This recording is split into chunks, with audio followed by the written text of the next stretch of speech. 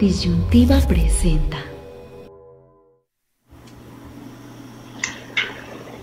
El Javier Jiménez pues resultó muy receloso de sus convicciones y renunció como titular de la Secretaría de Comunicaciones y Transportes ante la decisión presidencial de quitarle a esa dependencia el control total de los puertos marítimos y aduanas y trasladarlo a la Secretaría de Marina.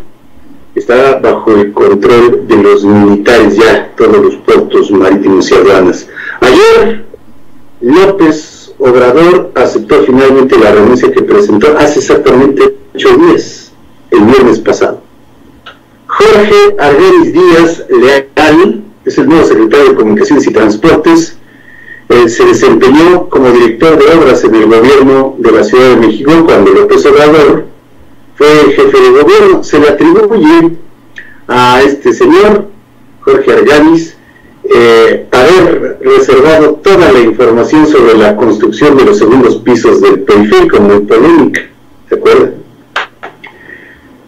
Expertos, expertos constitucionalistas señalan que López Obrador contraviene de todo a todo la Carta Magna con la decisión de militarizar puertos y aduanas, puesto que en tiempos de paz los militares no pueden asumir otras funciones que estén fuera de su estricta esfera de responsabilidad, aunque ya sabe que este gobierno le ha transferido todo a nuestras Fuerzas Armadas, los ha hecho albañiles, los ha hecho eh, guardias de fronteras, los ha hecho policías, los ha hecho eh, ingenieros ahora desde luego también los pone a cargo de la administración de puertos y aduanas. La oposición denuncia recursos legales, recursos de inconstitucionalidad.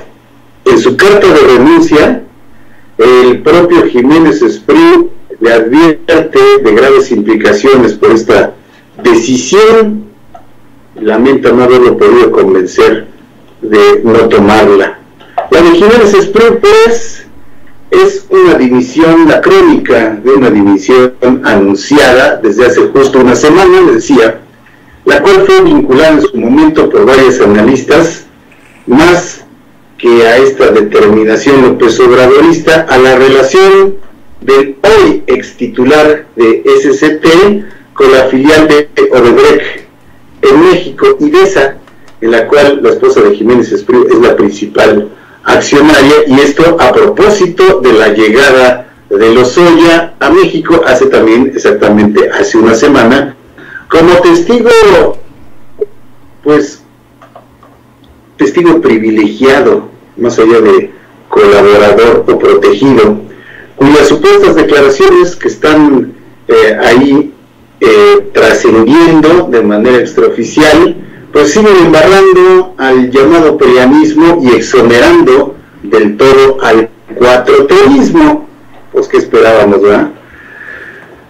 El tema de la militarización de puertos y aduanas vino entonces como anillo al dedo a Jiménez Espero, quien ahora pues queda en paz con López Obrador y además como un hombre de firmes y de fuertes convicciones, pues como de que no.